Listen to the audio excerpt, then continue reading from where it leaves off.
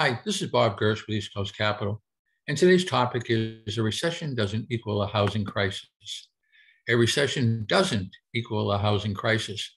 Everywhere you look, people are talking about a potential recession. And if you're planning to buy or sell a house, this may leave you wondering if your plans are still a wise move. To help ease your mind, experts are saying that if we do officially enter a recession, it'll be a mild and short one.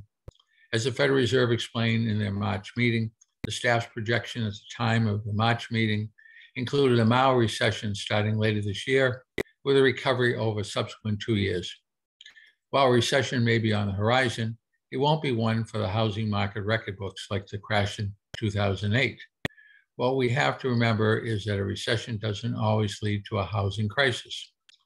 To prove it, let's look at the historical data of what happened in the real estate market during previous recessions.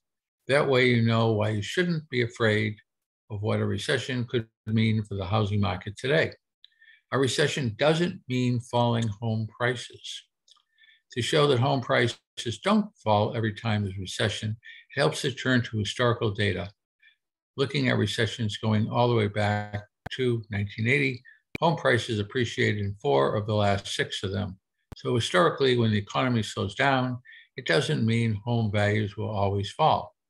Most people remember the housing crisis in 2008 and think another recession will be a repeat of what happened to housing then. But today's housing market isn't about to crash because the fundamentals of the market are different than they were in 2008. Back then, one of the big reasons why prices fell was because there was a surplus of homes for sale at the same time distressed properties flooded the market. Today, the number of homes for sale is low. So while home prices may see slight declines in some areas and slight gains in others, a crash simply isn't in the cards. A recession means falling mortgage rates. What a recession really means for the housing market is falling mortgage rates. Historically, each time the economy slowed down, mortgage rates decreased. Bankrate explains mortgage rates typically fall during an economic slowdown. During a traditional recession, the Fed will usually lower interest rates. This creates an incentive for people to spend money and stimulate the economy. It also typically leads to more affordable mortgage rates, which leads to more opportunity for homebuyers.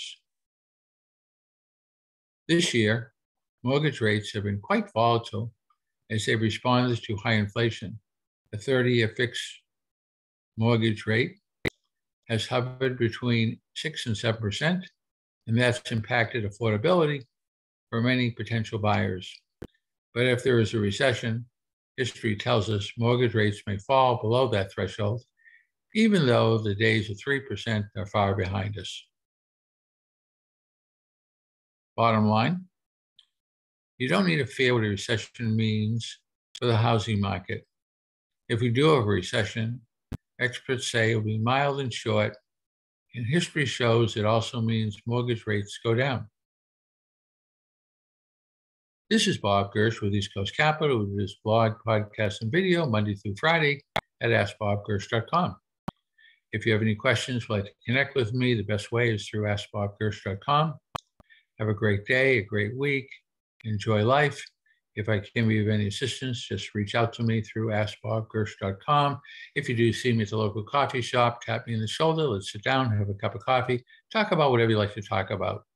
Until next time, enjoy life. See you then.